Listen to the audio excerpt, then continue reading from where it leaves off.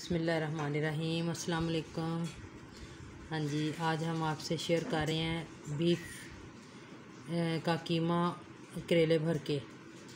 हाँ जी, ये देखिए, मैंने करेले छील लिए हैं। अब इनको नमक लगा के धोना है। और ये डेढ़ किलो मैंने करेले लिए हैं। ये मैंने इनका छिलका उतार लिया इसको भी नमक लगाना है। और ये हमने गोश्त साफ़ करके रखा है।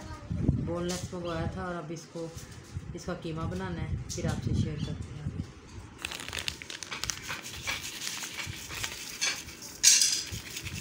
हाँ जी, ये नमक। कट अभी नहीं लगाए अंदर इसके। ये नमक के साथ अच्छी तरह धो के फिर इसको कट लगाएँगे बाद में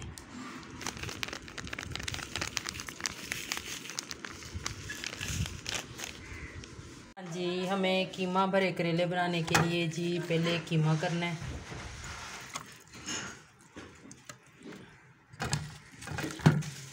आधा किलो हमारा ये मीट है तो हम सबसे पहले आधा करेंगे कीमा।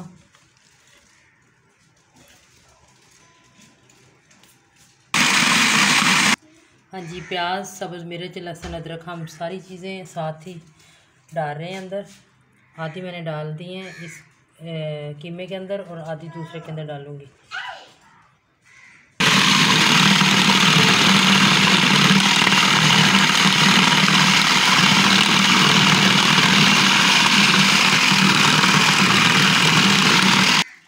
हाँ जी, कीमा हमने बना लिया है। तमाम चीज़ें अंदर डाल के अब मसाले वगैरह डलेंगे। तो ये मैंने कढ़ाई में डाल दिया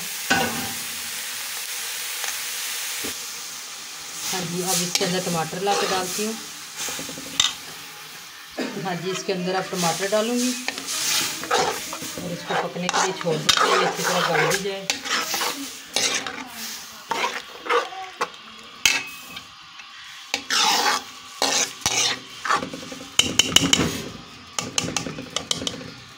सुरख मिर्च के तीन चम्मच लिए मैंने एक चम्मच नमक का क्योंकि नमक करेलों को भी लगाया और हाफ़ चम्मच ज़ीरा पाउडर है एक चम्मच धनिया पाउडर है और हल्दी पाउडर हाफ़ चम्मच और एक चम्मच ये काली मिर्च है।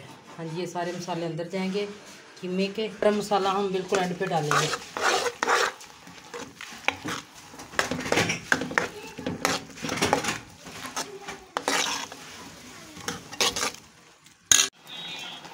हाँ जी, टमाटर हमने डाल दिया अंदर। थोड़ा सा पानी और डालना ताकि कीमा अच्छी तरह गल जाए। तो फिर इसको भूनते हैं। ये मैंने ना खाली की है, एक लाइन निकाली है बीच की, ये देखें सेंटर वाली। तो इसमें कीमा भरना है और ये जो मैंने बीज निकाले हैं, ये इंशाल्लाह इनको बीज के साथ, ये जो ऊपर मैंने छिलका उतारा है, इसके साथ ही मैंने इसको फ्राई करना है और उसके बाद कीमे के अंदर शामिल करना है। हाँ जी, ये हमने छिलका और बीज, बिल्कुल नरम बीज थे, ये हमने निकाले अब इनको फ्राई करते हैं। और उसके बाद फ्राई के लिए थोड़ा घी ज़्यादा डालना पड़ेगा। हाँ जी कीमे का पानी भी बस खुश्क होने वाला है तो इसमें घी डाल के इसको फ्राई करते हैं। इसमें हम ऑयल डालते हैं, इसको भूनने के लिए अच्छी तरह भूनना है। कम ऑयल डालेंगे इसमें।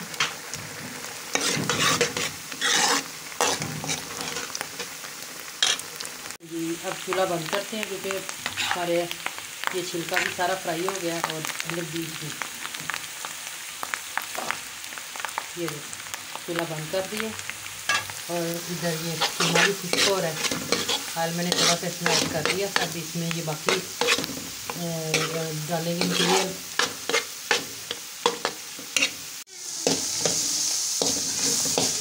हाँ जी, हमने अंदर वो जो मटीरियल फ्राई किया था मैंने, करेले के ऊपर से छिलका उतरा, वो मैंने बनाया सारा डाल दिया अंदर।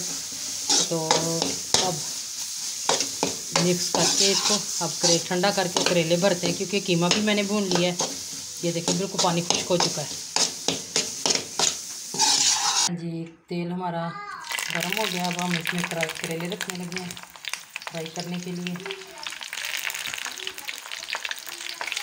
माशाल्लाह इस तरह हमने इसको बांधा है ना कि ये खुल नहीं सकते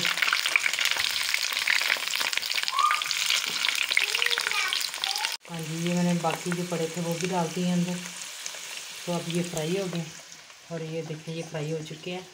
हाँ जी, इसी तरीके से बनाएँ। इंशाल्लाह बहुत मज़े के बनेंगे। लाइक करें, शेयर करें दुआ में याद रखें।